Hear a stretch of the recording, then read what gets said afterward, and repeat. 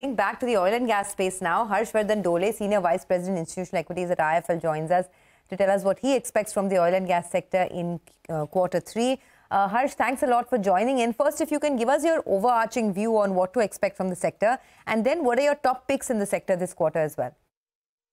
Sure, thanks. See, I think uh, relative to uh, last year as well as the second quarter, uh, the macro environment uh, was less benign. For example, the GRMs have kind of you know weakened, uh, and and at the same time there has been moderation in the marketing margin.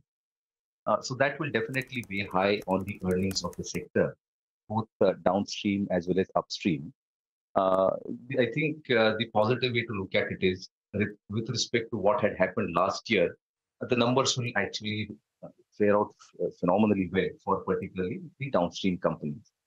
So if I were to take a holistic view, uh, while the numbers may seem to be quite disappointing on a sequential basis, I think uh, given uh, lower base versus uh, you know what these companies have been going through, I think the performance should be quite impressive if you evaluate on a standalone basis.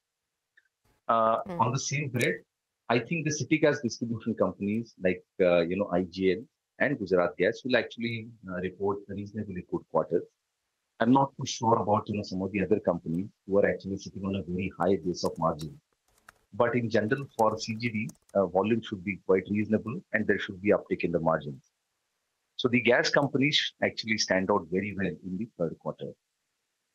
Uh, right. Reliance is, is basically a very peculiar case whereby uh, the O2C business is likely to be weaker, but that will be more than offset by strength in the E&P as well as the B2C segment. Okay, I wanted to talk a little more about Reliance actually because the stock in the last one month has gone up 10% and you're expecting it to be a flattish quarter this time around. Uh, but do you think that the consumer businesses, which have been at a, growing at a very steady clip, right, both Jio as well as uh, the uh, the retail space, do you think they could continue to gain traction, assuming more importance in the numbers this time and perhaps giving it that incremental upside? Well, that's what we are hoping. That uh, you know, festive season should have gone reasonably well for them, uh, and there are there are uh, you know traction the subscriber additions as well, for which both Jio and retail uh, should continue to deliver uh, the way we are forecasting on a sequential basis, uh, we are, for example, retail, you know, trying to pen in something like three to five percent on a sequential growth, which assumes linearity in terms of sale and flattish margin profile. So hypothetically, if the operating leverage kicks in, there is a good chance for an upside surprise, which is what we'll keenly await. Mm, okay, a good chance for an upside in uh, Reliance, which is what you're looking at. All right, gas utility companies, a quick word on that. GAIL, uh, Petronet LNG, I think you mentioned it briefly, but uh, you think that the margins would uh, normalize this time around? What are you expecting in terms of the operational performance and what can we look forward to on the stocks? So GAIL in particular is not a simple direct play on LNG because it has got quite a few moving parts. The core business, which is the natural gas transmission, will do quite steady uh, with you know three to four percent uh, volume growth and benefits of you know tariff revision. Uh, where we are uh, unsure about is the commodity business, the petrochemical business, because the margins have actually come off the cliff. Uh, even on the sequential as well as YO basis, margins are down in double digits. So we are hoping that the company is able to source gas at a much competitive price and throw some surprises. Otherwise, uh, you know, uh, the much of the weight lifting will be done by the LNG trading business, where GAIL has const uh, constantly been surprising the street and which has been the sole reason for the earnings upgrade. Mm, okay, that's on GAIL. Got yeah, go ahead. Petronet LNG, you were saying?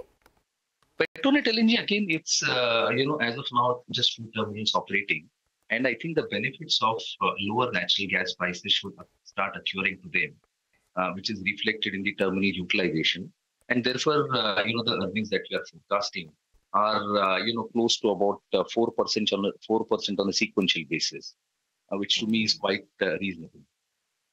Okay, finally, a word on the standalone refiners like MRPL. Do you expect uh, a hit on their profitability as well because of the lower GRMs that we are seeing uh, quarter on quarter? Of course, uh, there will be an impact on the margin profile of the standalone refiners And given the fact that their earnings are very sensitive to the underlying GRMs, there will be uh, volatility in their earnings. And that is the reason why, as a house, we've always believed that the best way to play the whole refinery theme is by owning the integrated players like HPBP and IO, which actually remain our preferred picks in the sector.